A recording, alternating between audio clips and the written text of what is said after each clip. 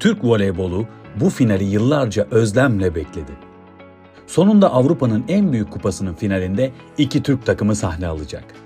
Bir yanda Eczacıbaşı Dynavit, diğer yanda Vakıfbank. Torino'daki dev finalde temsilcilerimiz Avrupa'nın en büyüğü olmak için kozlarını paylaşacak.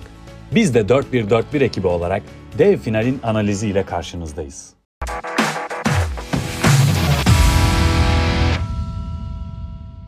Öncelikle neden daha önce iki Türk takımı finalde karşılaşmadı onu açıklayalım. Final Four oynandığı dönemde Sevin kuralları gereği aynı ülkeden iki takımın finalde karşılaşması yasaktı. Daha sonrasında SEV tarafından bu kural kaldırıldı ve diğer ülkeler gibi Türk takımlarının da finalde mücadele etmesinin önü açıldı. Şimdi de iki takımın buraya nasıl geldiğine bakalım. Eczacıbaşı Dynavit cephesiyle başlayalım. 2017'nin ardından SEV Şampiyonlar Ligi'nde bir kez daha finale yükselmeyi başaran Turuncu Beyazlılar bu kupayı 2015 yılında müzesine götürdü. 2023 SEV Şampiyonlar Ligi'nde E grubunda yer alan Eczacıbaşı, Emik Politse, Targovişte ve Maritsa Plovdiv ile karşılaştı. Grup maçlarında 6'da 6 yapan temsilcimiz adını direkt çeyrek finale yazdırdı. Grup lideri olduğu için playoff'tan kaçmayı başaran Turuncu Beyazlılar, Zesrov'u deplasmanda 3-1, İstanbul'da da 3-2 mağlup ederek adını yarı finale yazdırdı. Yarı finalde rakip Ebrar Karakurt'un formasını giydiği Novara'ydı. İtalya'daki ilk maçı 3-2 kaybeden Eczacıbaşı, taraftarının önünde İtalyan ekibine set vermedi ve finale yükselmeyi başardı. Şimdi de Vakıfbank cephesine geçelim. Son şampiyon unvanıyla Torino'da olacak olan Sarı Siyahlılar bu kupayı 5 kez müzesine götürdü.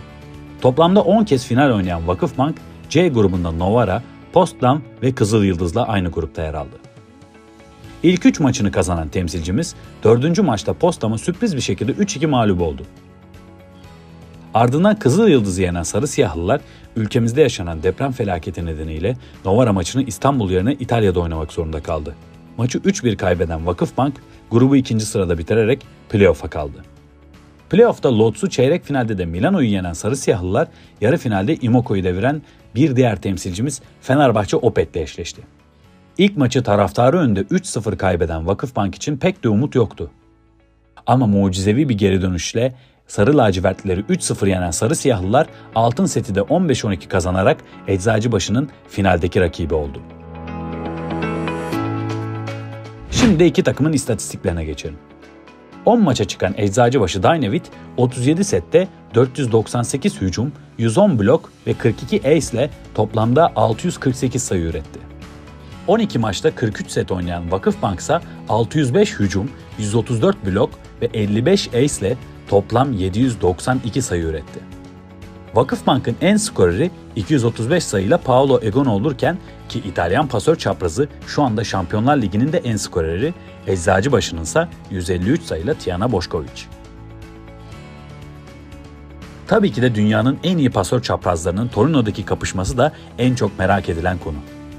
Kariyerinde ilk kez Şampiyonlar Ligi'nde final heyecanı yaşayacak olan Tiana Boşkovic, koleksiyonundaki eksik parçayı tamamlamak istiyor. Novara ve Imoko ile bu kupayı iki kez kazanan Paolo Egonu da Vakıfbank'ta üçüncü kez bu sevinci yaşamayı hedefliyor. Blok ve ace istatistiklerini de verelim. Vakıfbank'ın ABD'li orta oyuncusu Chiaka Ogbogu 31 blokla turnuvanın en çok blok yapan ismi. Eczacıbaşı'nın en çok blok yapan ismi ise 18 blokla Yasemin Güveli. Kara Bejma 10, Irina Voronkova ise 7 ace takımlarının en çok servis sayısı alan oyuncuları.